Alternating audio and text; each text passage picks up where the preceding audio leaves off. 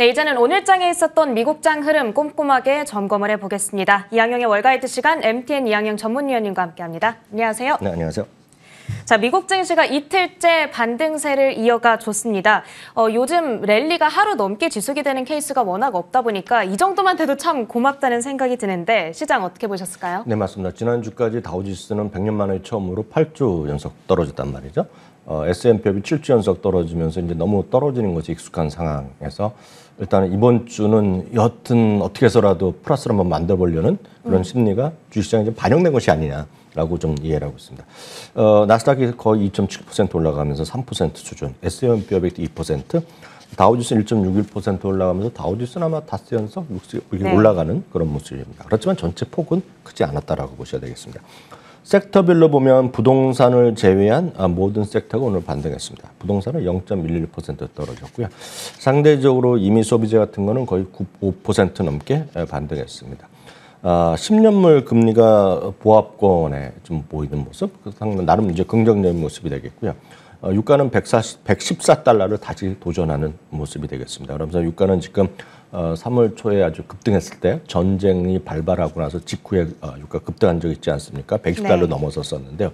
어, 그 수준을 한번 도전하는 것이 아니냐라는 우려감이 있겠고요. 특히 지금은 미국이 소위 이제 방학들 이제 여름 방학들 이제 준비하는 학교들 많이 있고요. 어, 아마 학기 말 뭐 이렇게 졸업 시즌이기 때문에 지금 소위 summer의 소위 driving 시즌의 수요가 높거든요. 그러니까 휘발유 가격이 거의 최고가라는 얘기를 계속 나오고 있습니다. 그것이 어떤 유가에 대한 플러스 요인이 되겠습니다. 어, 천만 다행인 것은 미국 달러가 지금 진정세를 보이고 있습니다. 아직 멀었지만 진정세를 보이면서 1개월 만에 최저 수준까지 떨어진 것은 그나마 다행스럽게 보입니다. 종목으로 보면 오늘은 장 전에 발표된 것은 달러 제너럴과 달러 트린데요. 이들 모두가 기대 이상을 쓸 줄 발표했습니다. 물론 이들이 상대적으로 저렴한 물건을 파는 곳이기 때문에 좀 더 그런 쪽에서 절약하는 그런 소비자들이 좀 찾았다. 그런 시각도 분명히 있습니다. 어찌됐건 달러 제너럴은 13.7%, 달러 트린 21.9%. 우리나라 딱 비교할 거 없지만 다이소 오른 느낌이랑 약간 업태는 다르지만 그렇게 보시면 되겠습니다. 애플이 2% 올랐고요. 마이크로소프트 1% 올라갔습니다. 아바니오도 4% 올랐고 테슬라도 모처럼 이틀 연속 반등하면서 7.4%나 반등하면서 오늘 이미 소재 반등을 좀 이끌었다라고 이해하시면 되겠네요. 네, 맞습니다. 그리고 방금 짚어주신 종목들 외에도 시장을 이끌었던 종목들이 또 있죠. 일단 엔비디아 어제 실적 발표 이후에 애프터마켓에서 급락 반응이 나왔기 때문에 걱정을 참 많이 했는데 일단 너무 다행입니다. 어, 가이던스를 낮춰잡기는 했지만 그래도 여전히 월가에서는 매수 의견을 많이 주고 있는 것 같아요. 네, 맞습니다. 엔비디아는 어저께 이 시간에 저희가 막 보여드릴 때는 시간에서 한 5, 6% 떨어졌고 그런 흐름이 어저께 정기장 시작하기 전에도 비슷한 흐름이 이어졌습니다. 그렇지만 뚜껑 열고 보니까 오히려 지금 장전 중 넘어가면서 플러스로 완전히 돌아섰습니다. 어, 어, 긍정적 실적 분명히 있었습니다. 2분기 실적 전망이 약간 기대에 못 미쳤지만 전체적으로 정규장의 반등에 성공했고요. 어제도 보면 어떤 게임이라든가요. 그리고 데이터 센터, 특히 데이터 센터가 83%가 늘어나면서 앞으로도 어, 시장을 주도할 가능성이 커져 있습니다. 반면에 게임 같은 경우는 이번 분기는 약간 slow해질까라는 경고의 메시지도 분명히 있었고요. 회사에서도 최근에 미국의 IT기업 일반적인 보직입니다. 어떤 고용을 좀 음, 고용을 늘리는 속도를 좀 줄이겠다, 좀 늦추겠다 했고요. 약간의 이제 경계적으로 보면 일단 방만하게 경영하는 게 있습니다. 그래서 코스트를 비용을 좀 어, 타이트하게 안 하는데 비용을 좀 타이트하게 관리하면서 좀 재무적으로 좀 안전하게 했다. 이런 것들이 나왔는데요. 여튼 결론적으로 보면 주가는 올랐습니다. 어, 최소 12곳의 목표 주가가 하향했지만 말씀드렸던 대로 투자 의견 자체를 내린 것은 오늘 없었다라고 보셔야 되겠습니다. 최저로 내린 것은 모건 스탠리가 182달러가 있고요. 제일 큰 폭으로 내린 것은 400에서 240달러 내린 것이 있겠고 제일 여전히 내렸지만 높은 것은 오늘 기준으로 보면 315달러 어, 제시한 시티그룹이 있습니다. 오늘 현재 목표 주가 평균은 272달러라는 정도 참고하시면 되겠습니다. 네, 알겠습니다. 자, retail 테마 안에서 크게 움직였던 종목들 조금 더 점검을 해보겠습니다. 이 룰루레몬 같은 경우에는 물론 최근 한 달간 주가가 계속 빠지기는 했습니다만 확실히 거스를 수 없는 트렌드인 것만큼은 분명한 것 같아요. 오늘 10%나 급등을 했는데 어떤 이슈 있었습니까? 네, 맞습니다. 룰루레몬은 10%나 올랐습니다. 모건 스탠리에서 중립에서로 매수를 올렸습니다. 어, 저희가 음, 어, 월가우즈 시간에서도 몇 차례 말씀드린 기억이 있는데요. 10대들의 경우에도 특히 남성 같은 남자들 경우에도 새롭게 입고, 입기 시작한 브랜드로 3위로 룰루레몬 올 정도로 남녀 상관없이 폭넓게 좀 인기를 끌고 있는 그런 브랜드면 틀림없습니다. 알리바바가 기대 이상의 실적 발표하면서 14% 정도로 올랐습니다. 메이치스도 기대 이상 실적 발표하면서 주가가 급등했고요. 반면에 크라프타인즈는 UBS에서 중룸에서 아예 매도를 내렸습니다. 어, 주가가 7%가 내렸습니다. 한편 오늘 어, 시간에서는 또 하나 이제 많은 관심을 가졌던 기업이 코스트코입니다. 장 마감의 실적 발표했는데요. 주당 이익과 주당 이익은 예상 수준, 매출은 조금 넘어섰지만 동일 점포는 이제 해석에 따라 약간 다릅니다. 전체적으로는 11.8% 예상되는데 10.8%였고요. 미국만 보면 오히려 좀 늘어났고요. 어, 그리고 휘발유 가격이 많이 올라갔기 때문에 휘발유 가격을 제외하더라도 한 11% 정도 올라갔기 때문에 시장에 대한 반응은 그렇게 나쁘지 않습니다. 다만 오늘 또 장중에 6% 가까이 올라갔기 때문에 시간에선 좀 하락하는 모습을 보이고 있습니다. 네, 이제는 앞으로의 시장 움직임에 대한 경험적인 힌트를 조금 받아보도록 하겠습니다. 어, 올해 시장이 출발하고 나서 굉장히 많이 떨어졌잖아요. 근데 과거에 연초에 비슷한 하락률을 보였을 적에 남은 기간 수익률은 보통 어땠습니까? 네, 맞습니다. 어, 어저께까지가 그러니까 달력이 아니라 거래일 수로 보면 딱 100일이 된 날이고요. 네. 오늘까지 어, 계산한 100하루가 됐습니다. 어, 어저께까지 얼추 한 17% 정도가 아, 연초 대비 하락을 했습니다. 어, 이 정도, 뭐 12.9나 13% 정도 이상으로 떨어진 경우가 어, 1970년 이후에 그 전체적으로 보면 다섯 번 정도가 있었습니다. 그동안요. 1930년도 이후에요. 어, 그 이유만 보면 그 이유만 보면 남은 기간에 평균적으로 오히려 19%나 상승했던 것이 통계가 되겠고요. 중위값은 중위값은 이제 모든 것을 순서로 했을 때 가운데 값을 의미하는 거 아닙니까? 중위값은 15%는 올라갔고요.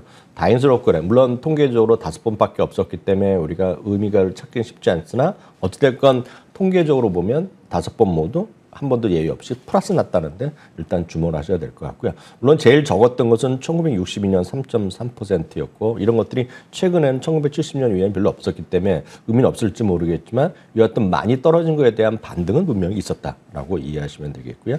아, 한, 한, 한두 가지 더 보겠습니다. 아, 블룸버그에서 설문조사를 했는데요. 어, 설문조사 결과를 보면 이 그림을 보면 어, 10년물의 금리가 되겠는데요. 아, 그 10년물의 어, 소비자 물가 지수가 되겠는데요. 아시다시피 지난주에 이제 8.3%가 지난달 거 발표됐었는데요. 지금까지 나온 거에 보면 8.3% 하면서 크게 올랐고 이제 이번 달 거 쭉 나올 텐데요.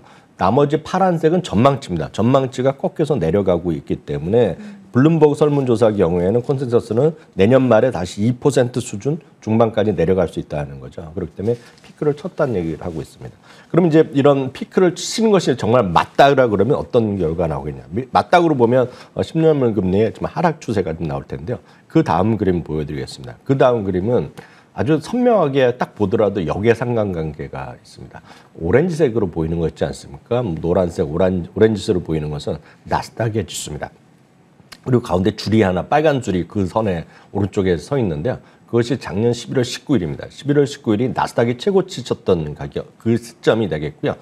파란색은 파란색은 10년물의 금리입니다. 즉 10년물의 금리와 나스닥은 전형적인 역의 상관관계가 있다는 것을 보여드리는데요. 물론 최근에 물론 시차는 조금씩 있죠. 누가 앞서거나 뒤서거나 하지만 이 그림은 이 그림을 보면 나스닥이 지금 바닥을 계속 치고 있고 최근에 조금 반등 시도하고 있지만 10년물 그림은 잠시 전에 보여드렸다시피 조금 하향하는 추세를 보면 긍정적으로 보는 사람들의 시각에 따라서는 어, 지금 한번 나스닥이 거의 바닥인 건 아니냐라는 그런 시각도 가능하다는 측면에서 블룸버그의 어, 어, 설문조사 결과 컨센서스를 한번 보여드리겠고요.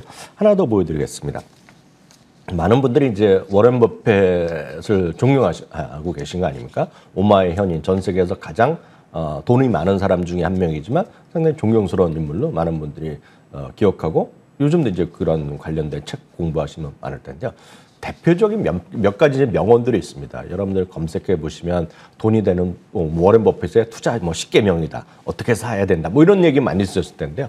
많은 분들이 기억하는 것 중에 하나가 주식은 어떤 탐욕에 할때 팔고 공포에 살아 이런 얘기 많이 들어보셨을 것 같습니다. 물론 그것이 절대적인 의미가 있는 것이 아니고 절대적인 우리가 객관화된 수치가 있는 것은 아니겠으나 지금 이걸 보여드린 것은 미국의 개인 투자가들 협회들의 평균적으로 매 매번 이걸 또 조사합니다. 그래서 개인 미국의 개인 투자가들의 어떤 협회 이런 데서 하는 건데요. 쉽게 보시면 긍정적으로 보는 사람 우리가 불이라 그러죠. 황소라고 보이고 안 좋게 보는 사람 베어라 그래서 어, 곰이라고 얘기하는데 불앤 베어 인덱스라는 것들을 많이 보셨을 것 같습니다. 여기 보시면 위쪽으로 보면 시장 긍정적으로 보는 사람이 지금은 파란색, 깜 파란색으로 떨어지는 겁니다. 이게 20% 이하까지 왔습니다. 그것은 뭐냐면 10명 중에 2명은 2명만 좋게 보고 안 좋게 보는 사람이 80%된 겁니다. 그게 이제 위의 그림이 되겠고요. 그 아래는 것을 그걸 이제 분모와 분자로 나눈 겁니다. 문제는 지금 현재 수치 자체는요. 그러니까 쉽게 해서 20 나누기 80 정도 되는 것인데 저 수치 그 현재의 어떤 분리 시작해 보는 사람의 최저의 그런 비율 자체는 리먼 사태 이후 최저 수준까지 가 있다는 거거든요. 그건 뭐냐면 이 수치가 맞을지 어떨지 모르겠으나 지금은 최대 공포 구간에 있는 건 맞다라고 보시면 워렌 버핏의 말이 맞다 그러면 그런 것에 인지하신다 그러면 장기적으로 보면 지금 언저리에서 추가적인 엄청나서 주식을 팔기보다는 지금은 아마 워렌 버핏의 본인이라면 이걸 주식을 사고 있는 타임이 아니야라고 좀 해석할 수 있기 때문에 오늘 참고적으로 오늘 보여드렸습니다. 자, 그래도 희망적인 이야기가 조금씩은 들려오기 시작합니다. 아직까지는 월가에서 좀 베어리시한 약세론적인 시각도 많이 있습니다만 이런 상반된 시각 점검을 모두 해가면서 앞으로의 방향성 잡아가시길 바라겠습니다. 자, 마지막으로 어, 지금 시장의 센티먼트가 워낙 낮아져 있는 상황인데 이런 상황 속에서 배당주에 관심을 가져야 된다라는 얘기가 계속 나오고 있는 것 같아요. 네, 맞습니다. 시장은 두 가지가 있죠. 시장이 이제 많이 급반등을 할 것 같다 그러면 지수 관련 큰 주식을 먼저 사는 게 1번이에요. 있습니다. 다만 이제 그렇게 이제 불안한 감을 여전히 느끼신 분이 현실적으로 많거든요. 네. 그런 분들은 시장을 좀 견뎌야 되기 때문에 배당주나 이런 것들을 사는 것이 어찌 보면 상례일 수밖에 없다는 것인데요. 특히 이제 작년에 같은 기간 대비 올해 1분기에 보면 전 세계에서 3천억 달러나 배당금이 지급됐습니다. 전 세계에서요. 그것은 작년 대비 11%나 늘어나면서 사상 최고입니다.